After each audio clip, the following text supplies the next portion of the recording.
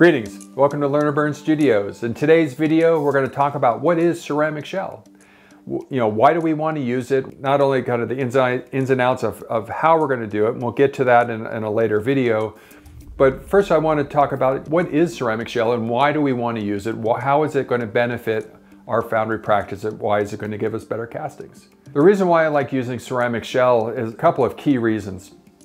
One, it's lightweight. You know, if we're say casting a football and you know, we, we, are doing that in, in, traditional standard investment or sand casting, our mold's gonna be roughly about 100 pounds of solid weight because the mold needs to be fairly thick around that around that shape, it, it's cumbersome. Uh, as opposed to the ceramic shell where we'd be creating you know, walls of you know, a quarter inch thick.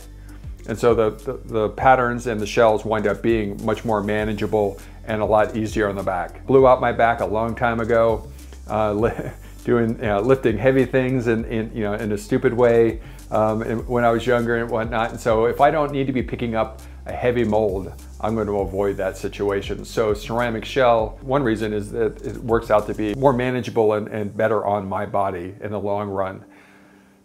Second, along with it being lightweight and stuff like that, it provides an, an, amazing amount of detail. Anything that's in the wax will be in the, in the metal, um, including uh, fingerprints. And even to the point of like, we think of fingerprints being super subtle, but that's almost could be considered a coarse texture um, compared to you know the, the amount of sensitivity that the shell has in picking up all the little nuances and details in your wax pattern and translating that into the metal. I guess a third reason why I really like ceramic shell is that uh, the quality of the castings or the really the ability to be able to cast uh, thinner.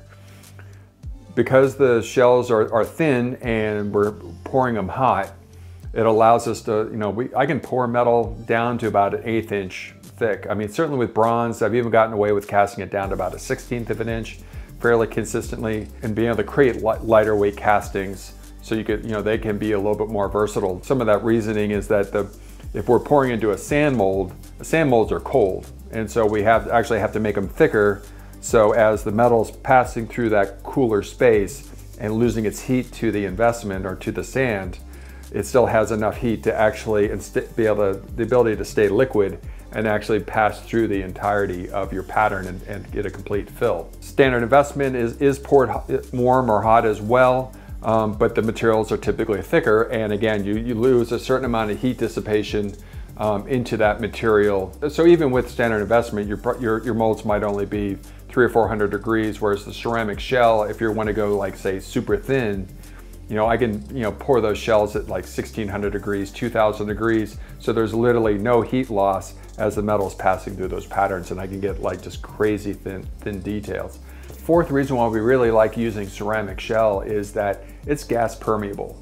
And what I mean by that is that it's, it's, it's weird, even though it has the, the density to pick up every detail in the wax, fingerprints and whatnot, it also has enough porosity in the shell that gases can push right through. And what this means for us is that we can get away with less gates and less vents. You know, every time we attach a, a gate or a vent to, a, um, to our pattern, one, it takes time to do that, but then it also takes time to clean up those connection points when we're chasing in the metal.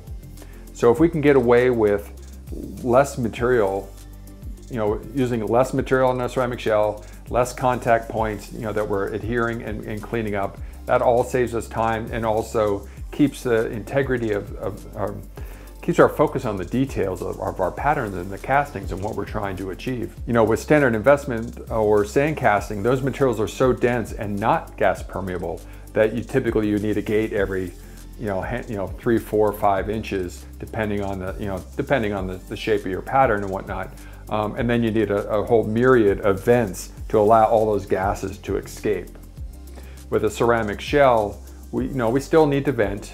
And if you got some, you know, crazy little details or fingerlings and stuff like that, you definitely want to, you know, make sure you vent those things. But you can get, by, by and large, you can get away with considerably less vents and gates.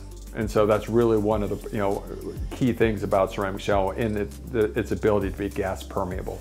Those are a handful of the reasons why I like to use ceramic shell. Being able to cast, you know, the, the shells themselves being lightweight, the quality of the castings, being able to cast thinner, You know, these, these reasons are, are great reasons to, to utilize ceramic shell. Also, when it comes time to burn out, an extra bonus is that because our molds are smaller, depending on the size of our patterns, of course, but you know, inherently our molds are, are, are going to be smaller. Our kilns can be smaller as well. You don't need, you know, if you're casting, again, if you're starting off with a football, but even if you're casting something a little bit, you know, larger than that, you know, and suddenly, you know, it makes your mold exponentially bigger, then that's the size of your kiln as well.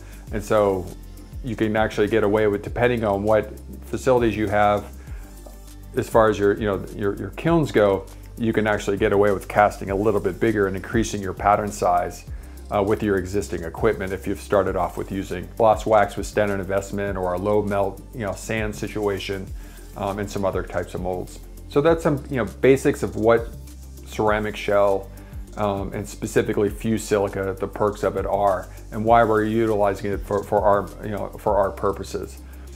In the next video, I'm gonna, I'm gonna talk more specifically about the components themselves and in the direction of how we're gonna utilize them and combine them for our ceramic shell slurry.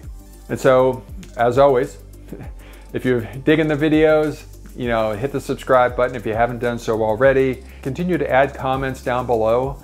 Um, I'm, I'm, really interested in, you know, what questions you have, what struggles you might be having in your studios and, or in your foundry practices when it comes to ceramic shells so I can incorporate uh, those issues into future videos. And with that said, until the next video, be creative and be safe.